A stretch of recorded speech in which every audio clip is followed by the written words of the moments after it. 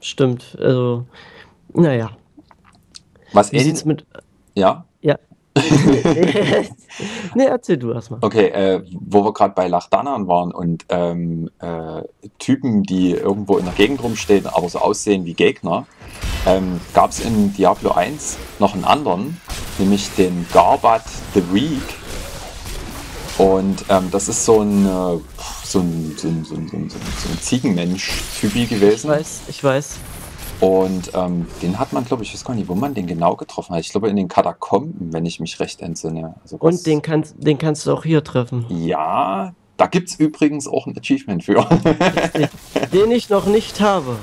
Was, du hast den noch nie getroffen? Ich habe den noch nie getroffen. Ich Boah, weiß wo er ist, aber Also ich habe den, ich habe den mal zufällig mit meiner Frau sind wir mal drüber gestolpert und haben den äh, da platt Ja. gemacht. platt gemacht. Letzten Endes, genau. So, hier ist noch ein Buch. Ja, hier ist noch ein Buch, ich sehe schon. Bestimmt wieder Lachdanans Schriftrolle Teil 2.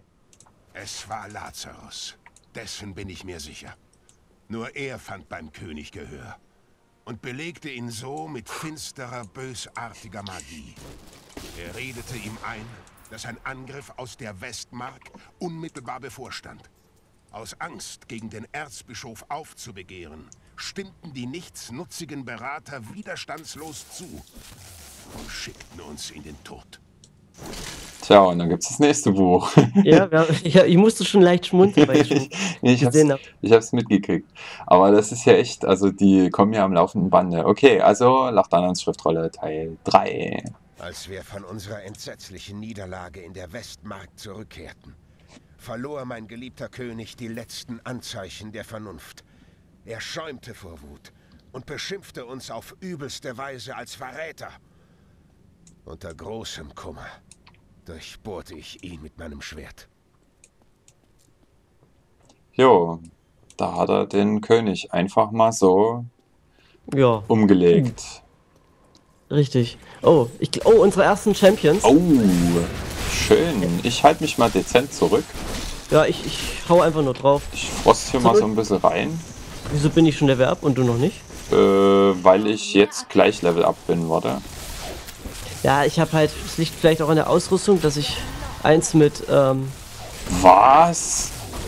Oh, was? Was denn? du hast plus eins auf Erfahrung?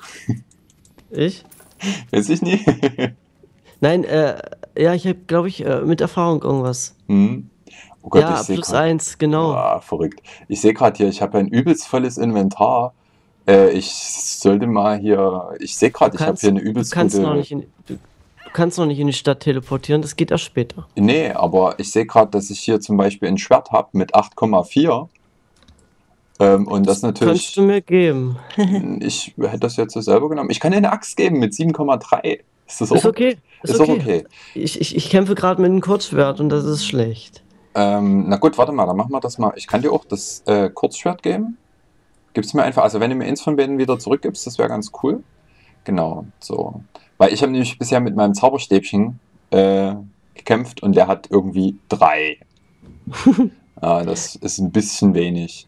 Oh, guck mal hier. Ich habe jetzt schon wieder Büstenhalter ähm, mit äh, Rüstung 3 und erhöhten Gold- und Heilkugelradius. Das ist nicht schlecht. Das- Dann brauchst du nicht jedes Mal hinterherlaufen. Das stimmt. Also du kannst, dann hast du besser, kannst du öfters besser einsammeln und so. Das ist definitiv besser als gar nichts zu haben. Ja.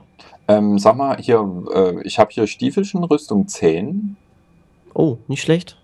Aber ich habe was mit fünf Bewegung und ich bin schnell und ich muss schnell sein. Ich brauch's nicht. Alles klar, gut. Ähm, was habe ich hier sonst noch so? Uh, uh, uh. Ähm, ich habe hier noch einen hochwertigen Brustschutz mit Rüstung 25. Oh, den nehme ich. Den nehme ich. Hallo. Den hätte ich ja jetzt schon fast selber auch beinahe genommen. Aber ich sag mal, ich stehe ja hinten, das heißt, da gehe ich jetzt mal von aus, dass das hoffentlich Ja, nie ganz so kritisch ist. Ich brauche ein bisschen mehr Rüstung als du, ja. Ja. Ich passe schon auf, dass du So. nicht auf die Mütze kriegst. Das ist schön, das ist schön. Wollen ja nicht sowas erleben wie das letzte Mal hier. Also, reden wir überhaupt nie drüber. Komm, wir gehen einfach weiter. Du, nicht wir. Was ja stimmt, ja, eigentlich. Ach, verdammt.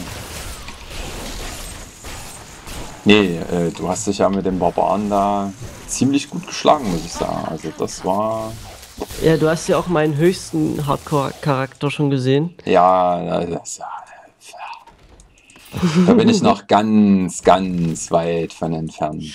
Ja, äh, wir Aber- beide. Aber ich muss auch sagen, ich muss auch sagen, äh, mit einem Barbaren ähm, lässt sich auf Hardcore auch ähm, ein gutes Stück leichter spielen. Also das soll jetzt nie deinen Barbaren abwerten, aber das ist so von dem, was ich so ähm, mitgekriegt habe, wie sich das so spielt, weil einen Barbaren hatte ich auch schon mal gespielt und der ging, fand ich, doch ein bisschen besser.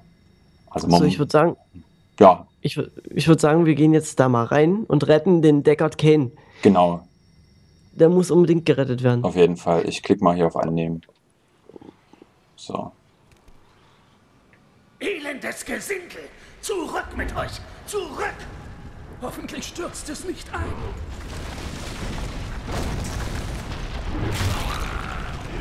Der Skelettkönig?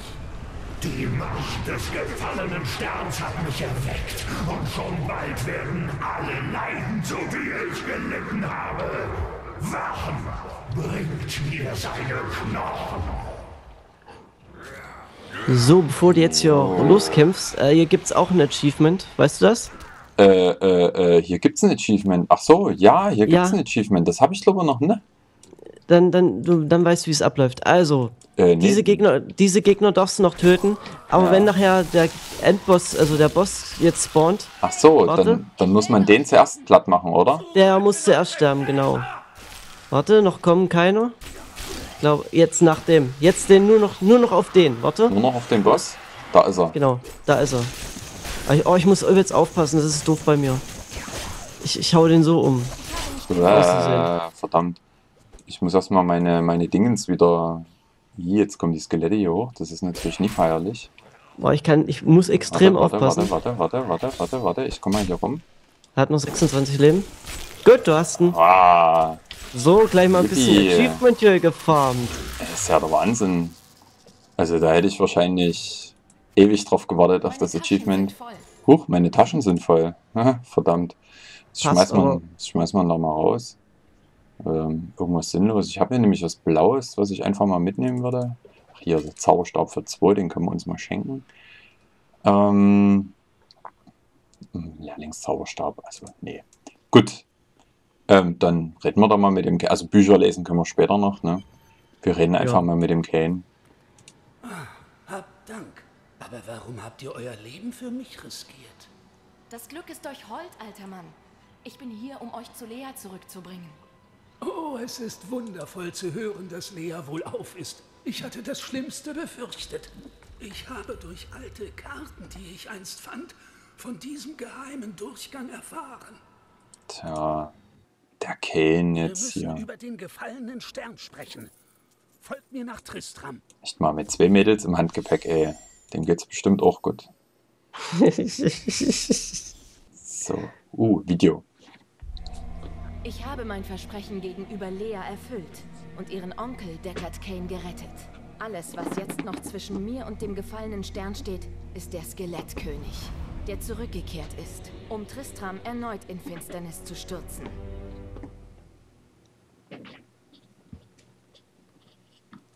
So. Mit. Okay. So. Ja, da sind wir wieder. Und, ähm, ja, da quatschen wir einfach mit der Lea, ne? Onkel, du lebst!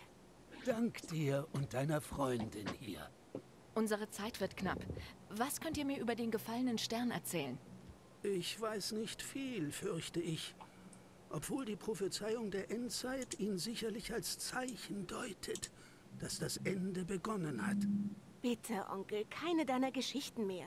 Es zählt im Moment nur, dass du zurück bist. Hm.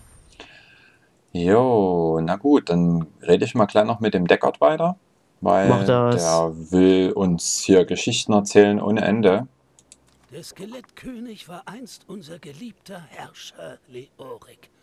Er wurde von Diablos Bösem in den Wahnsinn getrieben. Er hat seine beiden Söhne verloren und auch seine Seele selbst, bevor er endlich besiegt wurde. Nun scheint es, als wäre er auferstanden um dieses Land erneut heimzusuchen. Leoriks Schicksal ist tragisch, doch mir geht es um den gefallenen Stern. Und der Skelettkönig ist mir im Weg. Der Schlüssel, ihn zu besiegen, ist seine alte Krone. Sucht unseren Schmied Hedrick auf. Er weiß, wo sie zu finden ist. Siehst du, jetzt ist mir gerade ganz spontan noch was eingefallen. Ähm, Was denn? Und zwar, es gibt ja auch ein Achievement dafür, wenn man irgendwie alle Gespräche geführt hat. Stimmt. Und hier an der Stelle ist nämlich ganz fies, ähm, da kann man ähm, zwischen dem Gespräch mit der Lea und dem Gespräch mit dem Deckard, kann man Mhm. schon mit dem Schmied reden und da erzählt der Schmied einem irgendwas. Ja, das habe ich auch schon gehabt. Und, und dieses, dieses Gespräch hat mir, als ich das erste Mal durchgespielt habe, hat mir genau dieses eine Gespräch im ersten Akt am Ende gefehlt. Und ähm, da dachte ich mir dann so, ah, verdammt. Und das dann vor allem rauszukriegen, dass das genau da dazwischen ist, das ist schon ein bisschen, ja, etwas tricky, dass man da noch mit dem Schmied labern kann. Aber gut. Dann sprich mal mit dem Schmied. Ja, aber eigentlich, warte mal, ich glaube, ich müsste erstmal hier mein ganzes Zeug verkloppen. Ich glaube, du hast das schon gemacht. Ja, hier ist direkt ein Händler, kannst auch gleich machen. Ähm, da verkloppe ich erstmal hier meine ganzen sinnlosen Sachen. Ähm, ach so, du siehst ja jetzt natürlich nie, was ich habe. Pass mal auf, ich habe hier noch ein Schwert 9,1. Hat aber. Nimm ich, Nimmst du? Okay, gut. nimm ich. So, was habe ich jetzt hier noch so für lustig? Ja, gut, Bogen willst du ja nicht. Knüppel und sowas. Das brauchst du auch alles nie. Schuhe. Mm, mm. Nee, okay. Handschuhe oder sowas? Mm, magisch, ja. Nee, okay, gut. Ähm, dann hätte ich hier noch ein, ein Schild, acht Rüstung und getötete Gegner geben zwei Erfahrungen. Nö. Nee, okay, gut. Ja, dann, oh, halt was, warum? So. Dann äh, schmeißen wir das jetzt mal alles dem, den Rachen. Gut, dann hat sich das auch schon. Und jetzt können wir mal mit dem Hedrick reden. Schmied, Deckard Kane sagte, ihr könntet helfen, die Krone Leoriks zu finden. Nicht jetzt. Meine Frau, sie ist im Keller eingeschlossen. Genauso wie die anderen, die gebissen wurden. Mir wurde aufgetragen, sie alle zu töten. Aber wie soll ich meine eigene Frau umbringen? Ich weiß, dass es schwierig sein wird, aber sie würde es wollen. Ich werde euch helfen. Hab Dank. Folgt mir. Huch. Ja, Der rennt schon vor, ne? Der rennt schon vor. Also bei mir hat es jetzt gerade auch ganz kurz geruckelt. Ich weiß zwar gar nicht warum, aber naja, gut. Okay, gehen wir mal rein. So, ähm, soll ich was über das Achievement sagen, was es jetzt schon gibt? Hier, ähm, kannst du gerne machen. Also, es gibt ja ein Achievement, wenn